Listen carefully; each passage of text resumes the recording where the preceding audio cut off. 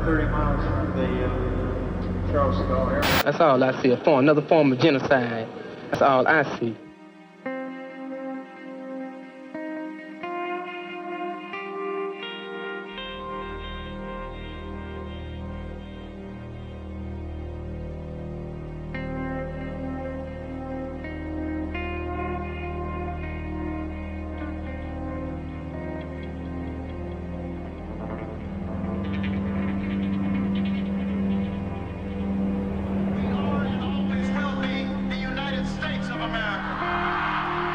I never had the chance to ask my father about the struggle.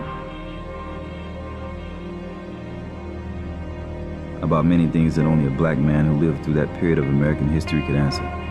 So what are you gonna talk about, huh? There was another airplane hijacking today, a Delta Airlines jet taken over by a gang of hijackers after landing in Miami to pick up the biggest ransom ever paid in an air hijacking, a million dollars.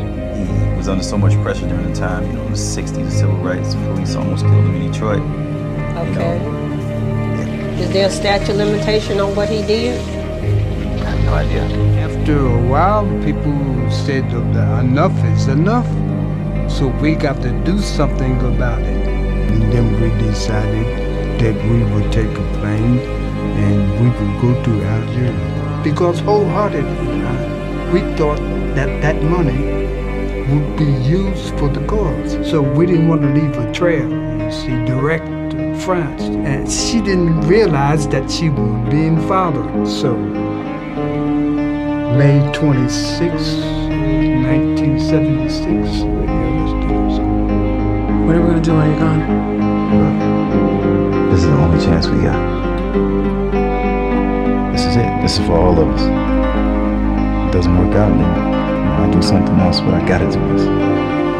Just try to understand that.